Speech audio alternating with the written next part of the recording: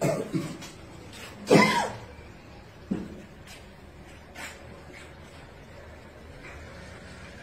afternoon. My name is Rich Odechimogani. I'm a veteran Nollywood actor from Imo State. I want to appeal to the to the well- well-meaning Nigerians my heritage show. I'm having heart failure and kidney problem. I want to use opportunity as well to appeal to my executive governor, Hope, Dr. Hope Uzodinma, and the governor, His Excellency, the governor of Lagos State. Please come to my rescue. This has protracted for a long time now. Almost three years I've been bedridden, trying to find a way out of it. But I use this opportunity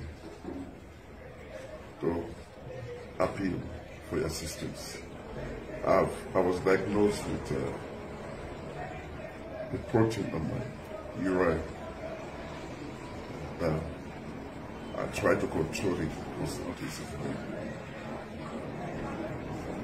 Eventually, I was taken to the State Specialist Hospital, where I was receiving treatment for the same money problem. When I could not cope with Imo State, I came to Lagos General Hospital, uh, Isolo General Hospital. I was diagnosed with chronic kidney problem. And I was given a referral to Luth. I went to Luth. There was no bed for me. Went to FMC, no bed for me. Went to military, the mental military hospital. I was still no bed for me. I was, yeah, from from Luth, I was referred to FMC, Ebute-Metta. And then there was no bed for me still. And then I was referred to military hospital. Uh, uh, there was no bed for me. So we, I had to come back, we came back again to Luth. And uh, it was more compl- complicated.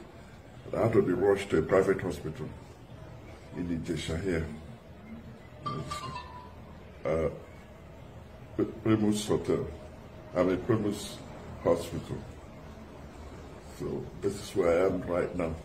They've been so good taking care of me, even when I didn't have money to pay cash immediately. So they've been treating me.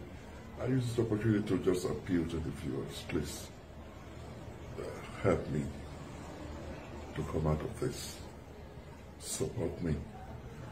Let me, so I can be alive to do other things.